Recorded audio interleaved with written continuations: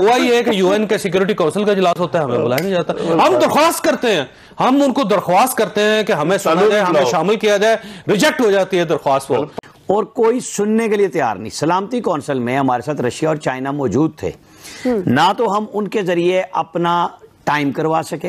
अब हम भवन में फंस चुके ना अफगान हुकूमत पाकिस्तान पे ट्रस्ट करने के लिए तैयार है ना अमेरिका इस मामले में ट्रस्ट करने के लिए तैयार है। इंडिया वैसे ही हमारा दुश्मन है। चाइना के जो स्टांस है वो पाकिस्तान के चौहत्तर साल में पहली जवाब- और वो हमें कोई ऐसी गंदी ज़ुबान और गाली नहीं है जो दुनिया के हर फोरम पे इंडिया नहीं दे रहा वो अफ़गानिस्तान की गवर्नमेंट दे रही है। ये कौन सी खारजा पॉलिसी है जनाब?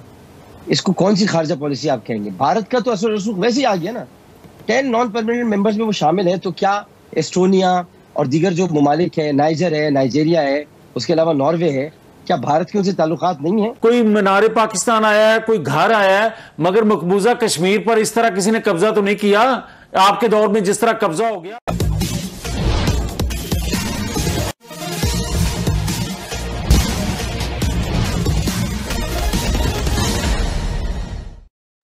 भारत जब से यूनाइटेड नेशन सिक्योरिटी काउंसिल का अध्यक्ष बना है, तब से पाकिस्तान की बेचैनी कुछ ज़्यादा ही बढ़ गई है। पिछले दिनों अफ़गानिस्तान के मामले में सिक्योरिटी काउंसिल की एक बैठक बुलाई गई थी, पर पाकिस्तान के अनुरोध के बावजूद भी पाकिस्तान को उस बैठक में शामिल होने से मना कर दिया गया। तब से पाकिस्तान की वह बेचैनी बेबसी में बदल गई है। और ताजुब की बात यह है कि चाइना जो सिक्योरिटी काउंसिल का अस्थायी परमानेंट सदस्य है, उसने भी पाकिस्तान की मदद करने से इनकार कर दिया। पाकिस्तान के इस बेचैनी और बेबसी के बीच झूल रही पाकिस्तानी मीडिया की चर्चा आइए आगे सुनते हैं। हुआ ये है कि यूएन के सिक्योरिटी काउंसिल का इजलास होता है हमें बुलाया नहीं जाता। हम दरख्वास्त करते हैं हम उनको दरख्वास्त करते हैं कि हमें सुना जाए हमें शामिल किया जाए रिजेक्ट हो जाती है दरख्वास्त वो और जियो बाइडन आपको बताया जब अमेरिका की अमेरिका की इतनी बड़ी साल 20 जियो बाइडन हमें रब्ता नहीं करता हमसे। हमारी पॉलिसी है क्या? संजीदगी से मैं समझना चाह रहा हूँ। अफगान इशू पे अमेरिका के ऊपर सारी और चाइना पे। हमारी पॉलिसी क्या? एक अच्छा, चीज़ क्लियर है कि आइसोलेशन में जा रहे हैं हम लोग। अच्छा। इन्होंने किया या उन्होंने किया उसको छोड़ दें देखिए। आइसोलेशन में है। वैसे एक होती है ना कश्ती जब भंवर में फंस जाए ना तो ये इल्ज़ाम लगाना कि इसकी वजह से उसकी वजह से ये सेकेंडरी हो जाती है। असल प्रॉब्लम ये होता है कि वो भंवर में फंस गई है बस। अब हम भंवर में फंस चुके ना अफगान हुकूमत पाकिस्तान पर ट्रस्ट करने के लिए तैयार है ना अमेरिका इस मामले में ट्रस्ट करने के लिए तैयार है। इंडिया वैसे ही हमारा दुश्मन है। दयामर इशू के ऊपर चाइना का जो स्टांस है वो पाकिस्तान के चौहत्तर साल में पहली जवाब- तो ये बेसिकली क्राइसिस है एक बहुत बड़ा। कि यहाँ हम डोमेस्टिकली इतने बुरी तरह आपस में लड़ रहे हैं और बाहर से दुश्मन हमें चाहता भी यही है कि हम इसी तरह लड़ते रहें। आप ये देखें कि इंडिया की चाहे हम बड़े खुश हों अपने तई के जी बिलियन डॉलर्स की इन्वेस्टमेंट अफ़गानिस्तान में ज़ाया हो गई, लेकिन वो अफगान हुकूमत ज़ुबान किसकी बोल रही है? आप अमेरिका कहें, आप इंडिया कहें, वो सब कुछ पाकिस्तान के ख़िलाफ़ जहर उगल रही हैं। और कोई सुनने के लिए तैयार नहीं। सलामती कौंसिल में हमारे साथ रशिया और चाइना मौजूद थे। ना तो हम उनके ज़रिए अपना टाइम करवा सके लेकिन चीनी मंदूब कह रहे हैं कि जी उनको वहाँ अफ़गानिस्तान के अंदर से एक ऐसी मूवमेंट नज़र आ रही है जो उनके खिलाफ सिंकियांग में इस्तेमाल हो रही है और हो सकती है। कि हर मुल्क जहाँ हम इतना राग अलापते हैं कि जी अफ़गानिस्तान की सिक्योरिटी में पाकिस्तान की सिक्योरिटी है, पाकिस्तान का अमन, अफ़गानिस्तान का अमन है, और हम चलते हैं। और वो हमें कोई ऐसी गंदी ज़ुबान और गाली नहीं है जो दुनिया के हर फोरम पे इंडिया नहीं दे रहा, वो अफ़गानिस्तान की गवर्नमेंट दे रही है। ये इसको आप फेलियर कह रहे हैं, हमारा सफारती फेलियर कह रहे हैं, या जो भी कह लें, कि हम इतने कमज़ोर नज़र आ रहे हैं इस वक्त इंटरनेशनल लेवल पे कि हमारी से बिल्कुल ख़त्म हो चुकी है। इस सिनारियों में तो बिल्कुल मुझे ऐसे ही लगता है कि हम कुछ भी नहीं कर सके। हम यहाँ बैठ के शाह कुरैशी साहब जितने मर्ज़ी मीडिया टॉक कर लें, जो मर्ज़ी कह लें लेकिन इंटरनेशनल लेवल पे हम बहुत ये कौन सी खारजा पॉलिसी है जनाब? इसको कौन सी खारजा पॉलिसी आप कहेंगे? भारत का तो असर रसूख वैसे ही आ गया ना। टेन नॉन परमानेंट मेंबर्स में वो शामिल है तो क्या एस्टोनिया और दीगर जो ममालिक है, नाइजर है, नाइजेरिया है उसके अलावा नॉर्वे है। क्या भारत के उनसे ताल्लुकात नहीं है? क्या भारत के यूनाइटेड स्टेट्स के साथ आजकल ताल्लुकात बेहतर नहीं है? क्या हमने रशिया को और चाइना को बिल्कुल जूते की नोक में नहीं रखा हुआ? क्या हम उनसे बात नहीं कर सकते? हमने कुछ नहीं किया। हमारी ये कमज़ोर खारजा पॉलिसी है। अब आप मुझे एक बात बताएँ जब आप कहते हैं कि जी मेरी हम कंप्रोमाइज नहीं करेंगे एब्सोल्युटली नॉट तो फिर आप क्यों वो कह रहे हैं कि हमें इंतज़ार है उस फ़ोन का उस फ़ोन कॉल का कि कब वो फ़ोन बजेगी कब घंटी बजे कि जिसमें जो बाइडेन से ये बात हेलो कर सके। हैं दूसरे नहीं चाह रहे हैं हमारे साथ। मसला यही है। सबसे बड़ा मसला अफ़गानिस्तान नहीं चाह रहा हमारे साथ रिलेशन मज़बूत करना। अच्छा अगर पाकिस्तान तलकात ठीक करना चाहता है तो फिर बढ़ के मारना बंद करे। जितने जो कि हम हैं हमें पता है। माफ़ी मांग लें। नहीं मुझे मुझे एक सेकंड ना मुझे आप ये बताएँ कि पाकिस्तान पर कभी इस तरह हालात बने थे पाकिस्तान के कि दुनिया में पाकिस्तान तनहा रह जाए?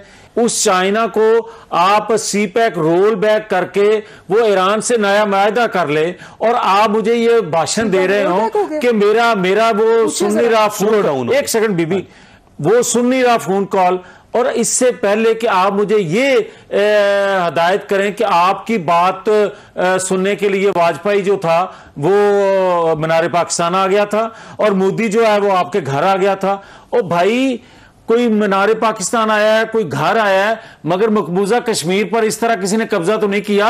आपके दौर में जिस तरह कब्जा हो गया।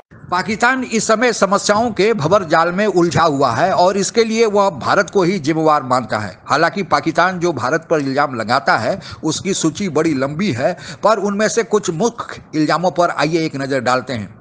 अफ़गानिस्तान में जो वहाँ की चुनी हुई राष्ट्रपति अफसर गनी की सरकार है, वह सरकार शुरू से ही पाकिस्तान को अफ़गानिस्तान के मामले में दखलंदाजी करने, तालिबानियों को मदद करने का इल्ज़ाम लगाते रहती है। और यह सच भी है कि पाकिस्तान तालिबानियों को मदद करता है, अपनी सेना और साजो सामान जो मिलिट्री का है, वह भेजता है। इसीलिए पाकिस्तान पर वह इल्ज़ाम जो वहाँ की चुनी हुई अफसर गनी की सरकार है, अक्सर लगाती है।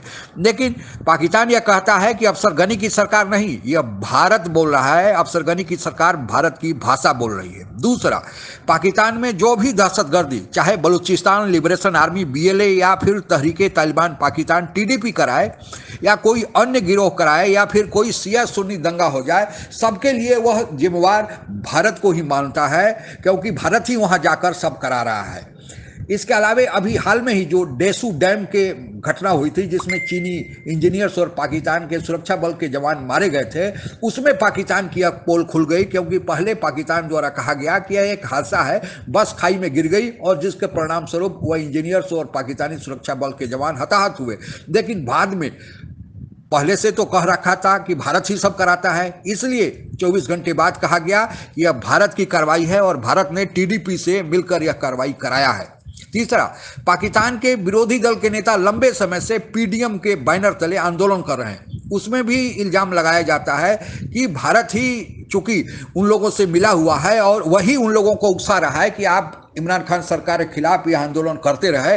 नवाज़ शरीफ जो वहाँ के भूतपूर्व प्रधानमंत्री हैं, उनमें तो मोदी का यार का तगमा ही उनको दे दिया गया है। इससे आप पाकिस्तान के मानसिक हालत की आप अंदाज़ा लगा सकते हैं।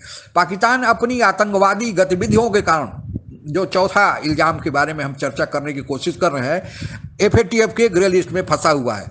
वह पहली बार नहीं, तीसरी बार इस एफएटीएफ के ग्रे लिस्ट में फंसा हुआ है और यह जग ज़ाहिर भी है, क्योंकि एफएटीएफ ने कहा है कि अभी पाकिस्तान में 1400 आतंकी गिरोह सक्रिय हैं और अभी तक पाकिस्तान में जो कन्विक्शन रेट है उन आतंकवादी गिरोहों को न्यायालय में सजा दिलाने का, वह पॉइंट फाइव परसेंट है। इससे आप अंदाज़ा लगा सकते हैं कि पाकिस्तान की सहानुभूति कैसे उन आतंकवादी गिरोहों गिरोहों के साथ है।